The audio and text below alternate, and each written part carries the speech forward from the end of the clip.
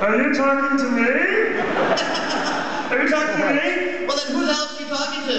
You talking to me? I'm the only one here. Who the fuck do you think you're talking to? Oh, yeah? I know you are, but what am I? No, he's not nearly as intimidating.